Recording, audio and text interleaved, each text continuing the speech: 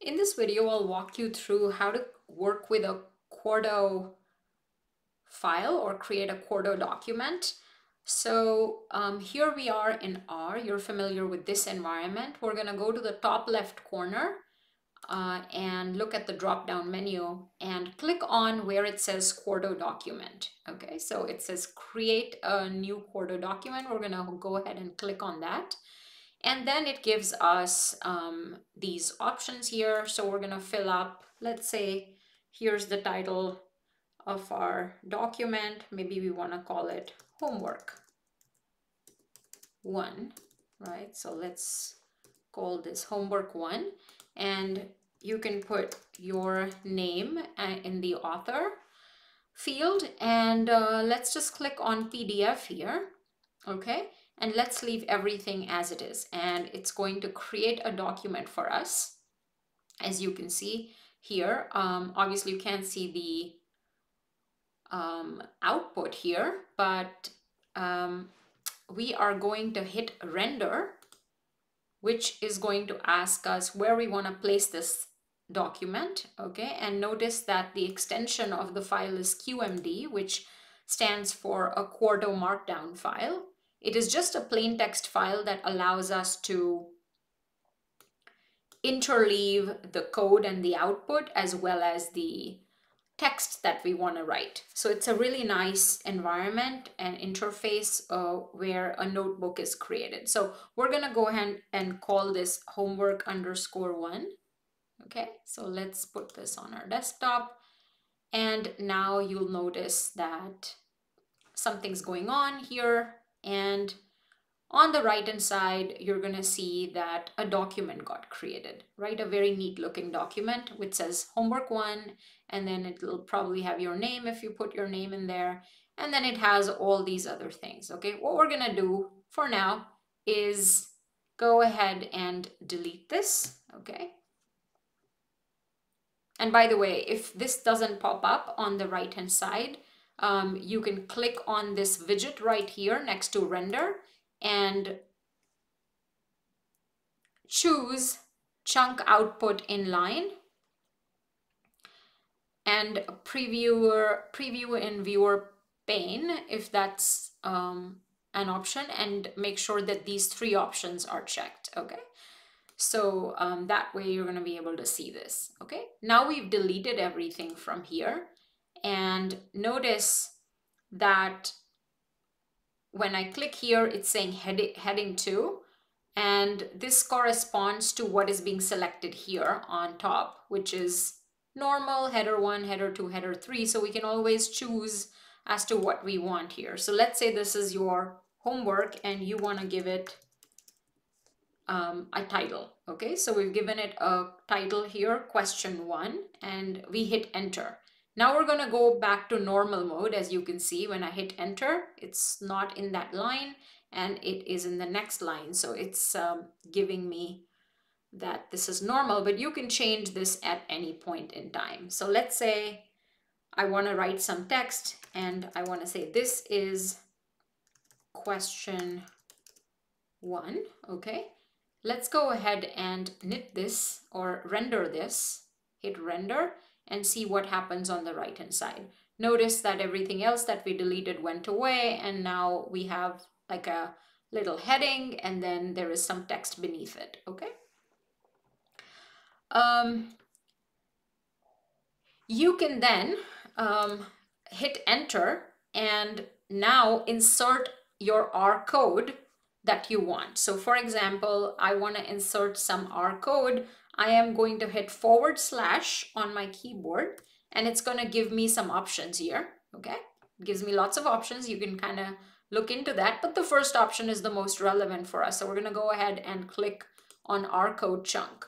Now we have an R code chunk and we can make comments like this is a comment and then we can write down something. So let's say 3 plus 4 if we want to execute it, we can go ahead and hit the uh, run or the play button on the top corner here. If we run that, it will give me the value of 7 right here. So this code is getting executed right away. but maybe you want the whole document to do that, right? So let's say, again, we click render on our screen, and then this document on the right should update, okay? So now notice that I placed a comment uh, in the R chunk that I created. Okay, so we can get rid of this by clicking clear output here. So notice this is an R chunk that I had put in, which is shaded in this gray box. So anytime you're writing a comment or writing R code, this has to be written in the gray box. But as long as you click outside of the box and you write, this is just text, right? And you hit render, this is going to be executed. Um, everything in this file is going to be executed and notice that you're not only just seeing the R code, but you're also seeing the output. At the same time, this is a little notebook where you can write comments, um, not the comment for R code, but just kind of your commentary on whatever you're doing. Okay, so this is a really neat uh, document, sort of similar to R Markdown if you've seen my uh, videos earlier, but uh, is definitely the tool of the future, so this is going to be very useful. Now, um, notice that um, on the top left here, we have, we are in the visual editor, okay? Uh, but we can go to the source editor to see what this looks like, okay? So you can see that this is sort of uh, similar to what R Markdown does, where you have this chunk that is your R code or your R chunk, okay, which contains the R code that you're writing, okay, and it's again displayed in gray. You can go back to the visual editor because that looks much nicer, okay?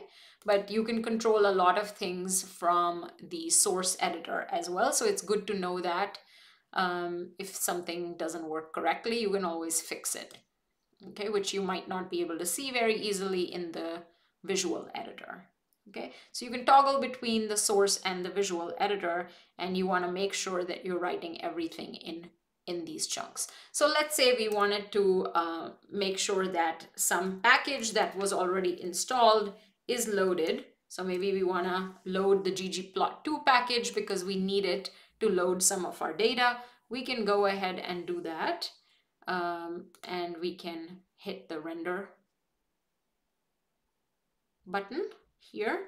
And notice that again it's showing me that I executed um, this command okay? Now as you try to do more questions um, you can always insert more things here. So let's say I wanted to insert another heading.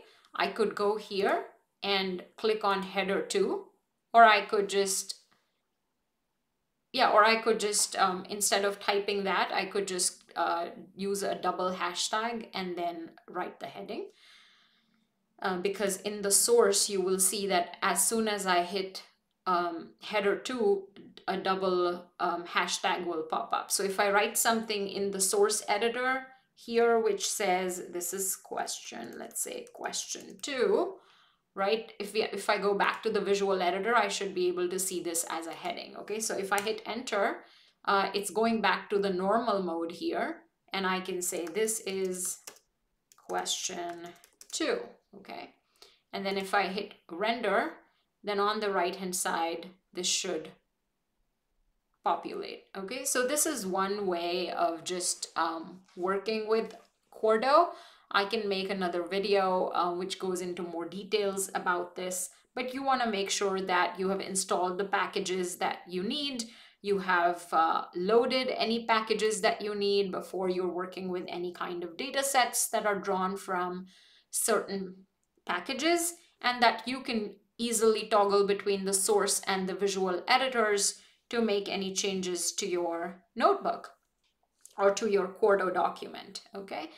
And um, remember that you can always um, hit this play button uh, to run this particular chunk. And there is, you know, um, maybe this is a this is for use later on. Uh, but if you hit this button next to the uh, play or the run button here, this will ensure that all the chunks above it are being run. So let's say, you know, you are in question number two, you're answering this, and you are saying, let's insert another chunk here. So I'm going to hit forward slash, and I have an R code chunk, and I'm going to say, this is another comment, okay? And maybe this is for question number two, you need to do something, and uh, um, let's say I wanted to run everything above it, right? I can hit this and notice that everything above it got executed, okay? So not this code, but everything above it got executed.